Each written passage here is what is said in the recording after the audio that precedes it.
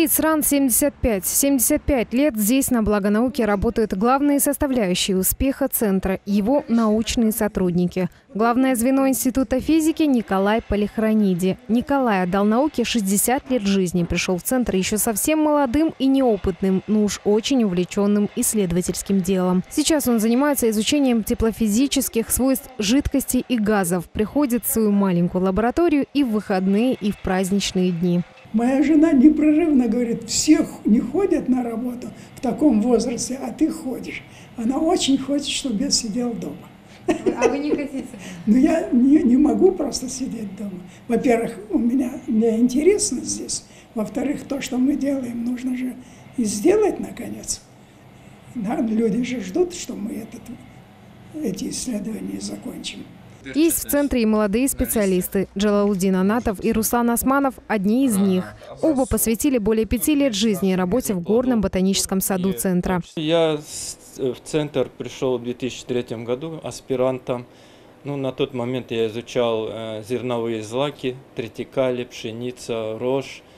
И первые 7-8 лет я занимался злаками. После того, как я защитился по ним кандидатскую, я перешел на изучение абрикоса. На счету у ребят множество совместных работ. К примеру, они написали книгу о дагестанских абрикосах, в которой рассказали об удивительных фактах генетического происхождения фрукта. Но работа напарников не ограничивается рамками центра. Молодые люди часто ездят в ботанические сады по всей стране за различными образцами. Далее они проводят сравнения и определяют происхождение растения. В данный момент на их счету более 200 исследованных образцов сортов и форм только одного вида абрикоса. Ну вот садоводы-любители, например, все сталкиваются с тем, что на плодах бывают вот эти черные точки. И, наверное, лучше, наверное, продать более красивый плод. Можем предложить сорта, которые можно потом будет вовлекать в селекцию и вот более... И размножать для производства.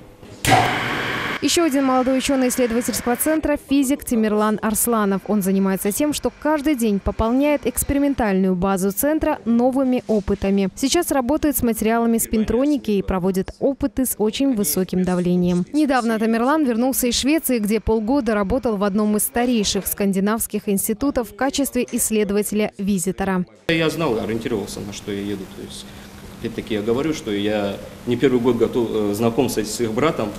Вот, я, в принципе, ориентировался, знал, что там, а, какой будет уровень. Действительно, уровень колоссальный. А, огромное число исследователей приезжает буквально непрерывно, там жизнь кипит. А приезжают одни, провели какой-то цикл своих, там, значит, получили результаты, улетели, приехали другие. Буквально в том кабинете, где я сидел, работал, поменялось человек 10.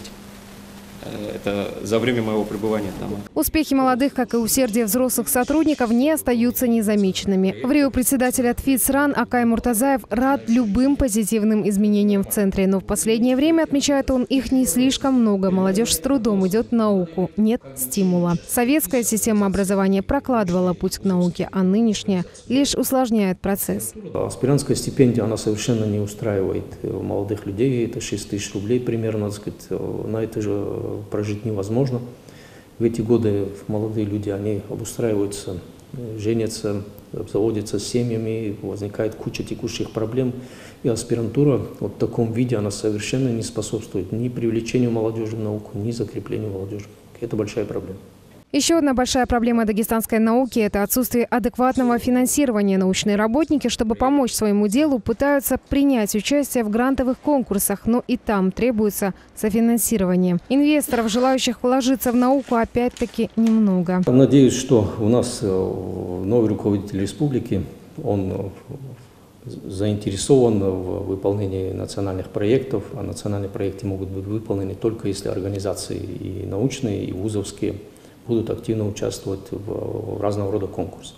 А для того, чтобы мы могли участвовать в этих конкурсах, нужна хорошо организованная помощь со стороны правительства, главы республики. Жизнь дагестанской науки переменчива. Она, как и любая другая отрасль, переживает как нелегкие периоды, так и позитивные. Но пока в центре все еще работают люди, горящие своим делом, питающие любовь к науке и с интересом проводящие опыты, научное дело будет жить. Хадижа Курбанова, Муса Салгиреев, телеканал ННТ, Махачкала.